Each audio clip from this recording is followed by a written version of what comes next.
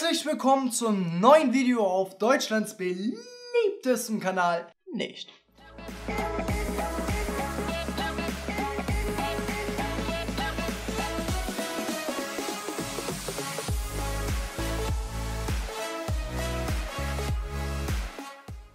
Wie ich schon in meinem letzten Video erwähnt hatte, ist nicht nur ein schlechter oder negativer Brief bei mir angekommen, sondern ist bei meiner Freundin auch ein positiver oder witziger Brief angekommen, über den ich sehr schmunzeln musste. Und wie ich ja auch schon im letzten Video gesagt habe, werde ich heute darüber ein bisschen reden. Ich werde diese Geschichte nicht detailliert erzählen. Ich hoffe, ihr versteht das. Bevor ich diesen Brief vorlese, muss ich euch erstmal so die Vorgeschichte davon erzählen, damit ihr das Ganze versteht. Eines Abends hatten meine Freundin und ich einen kleinen Unfall, bei dem ich sie ein wenig verletzt habe. Viele von euch können sich jetzt schon vorstellen, worum es geht. Ich werde es nicht sagen. Lasst einfach eure Gedanken ein wenig spielen, schweifen oder sonst was. Nun ja, auf jeden Fall war diese Verletzung relativ enorm, sodass ich mit meiner Freundin ins Krankenhaus fahren musste und sie dort behandeln lassen habe. Nachdem wir dann einige Stunden dort verbracht haben und vom Krankenhaus A, wo wir erstmal komplett falsch waren, zu einem anderen Standort äh, B fahren mussten, wo es dann doch richtig war, verging dann schon einiges an Zeit so. Und nachdem sie dann fertig mit der Behandlung war und ich einige Schocksituationen erlebt hatte, da sie in dem Raum war, ich durfte nicht mit und ich draußen die ganze Zeit irgendwelches Geschirr in Anführungsstrichen, das hat sich angehört wie so, so wenn jemand eine Kettensäge wegwirft oder sonst was, äh, gehört habe und mir dann natürlich auch sehr starke Gedanken und Schuldgefühle zugewiesen habe, haben wir dann Glück erfüllt, sage ich jetzt mal, beziehungsweise doch relativ positiv das Krankenhaus verlassen, so dass kein schwerer Eingriff jetzt äh, erfolgen musste und sie nicht irgendwie großartige Schäden weiterhin hat. Nun ja, jetzt vor zwei, drei, vier Tagen kam dann ein Brief an sie an, äh, welcher dann uns doch schon beide zum Schmunzeln gebracht hatte. Wie beim letzten Mal hier auch wieder die Sachen zensiert. Diagnose. Prellung der äußeren Genitalorgane. Viele werden sich's gedacht haben, ja, ich sag dazu nichts. Ich, ich lese einfach mal weiter. Sehr geehrte Frau, wir benötigen Ihre Unterstützung. Es wurden mit uns Behandlungskosten abgerechnet, die vermutlich auf einen Unfall oder eine Verletzung zurückzuführen sind. In diesem Fall sind wir verpflichtet, die Kosten gegebenenfalls beim Verursacher oder dessen Versicherung geltend zu machen. Da dachte ich mir auch schon so, okay, was wollen die jetzt von mir?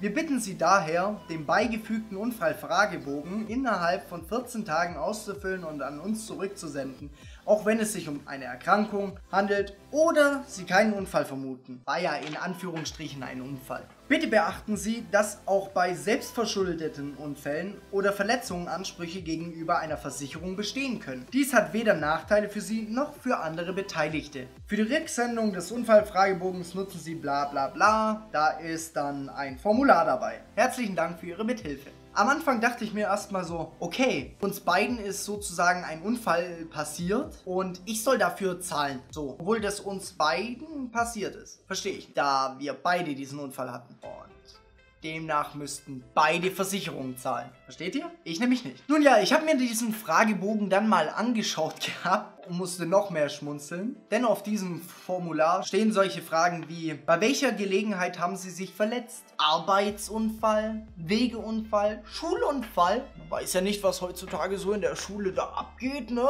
Ein Pflegeunfall, ja, könnte auch irgendwie zutreffen. Ehrenamtliche Tätigkeit, das wär's doch mal. Private, un- oder entgeltliche Tätigkeit für andere. Ah, könnte zum Teil zutreffen. Sportunfall. Ja, könnte man so nennen. Verletzung durch Tiere? Nein, das wäre ekelhaft. Verkehrsunfall.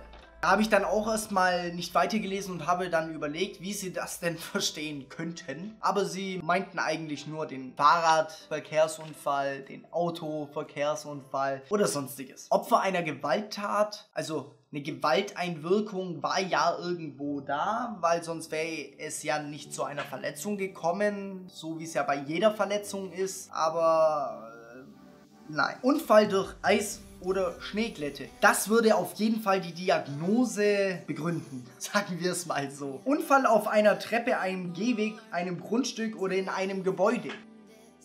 Ja. Oder natürlich sonstige Erkrankungen oder Ursachen, diese jetzt mal nicht berücksichtigt werden. Also ich fand äh, dieses Schreiben von der Versicherung sehr amüsant, sagen wir es mal so, und sehr nett, dass sie auch nachgefragt haben, wer denn der Unfallverursacher ist und auch zeigen damit, dass sie sich für ihre Menschen, die bei ihnen versichert sind, äh, kümmern möchten. Aber eine Frage fand ich am witzigsten und das war die, schildern Sie bitte ausführlich den Hergang sowie die Ursache der Erkrankung oder Verletzung. Und da habe ich mir dann doch schon mal ans Hirn fassen müssen. Es tut mir leid, liebe Versicherung, aber wir werden weder Auskunft darüber geben, wie das Ganze passiert ist, denn das haben wir im Krankenhaus schon gemacht, noch werden wir irgendeine detaillierte Beschreibung davon raushauen. Was erwartet ihr bei einer Prellung der äußeren Genitalorgane, dass ich euch absolut jede Sekunde dieses Vorfalls schildere, damit ihr die kompletten Kosten bei meiner Versicherung abbucht, für die wir beide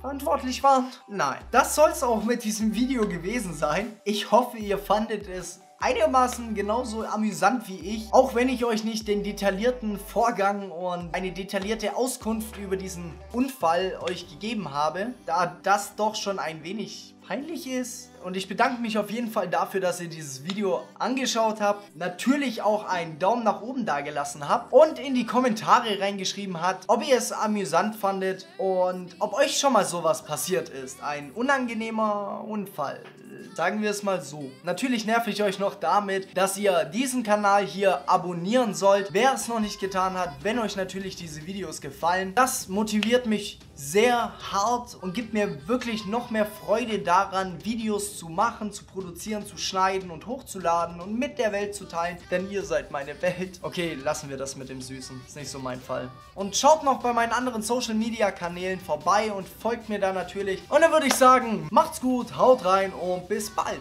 Ciao.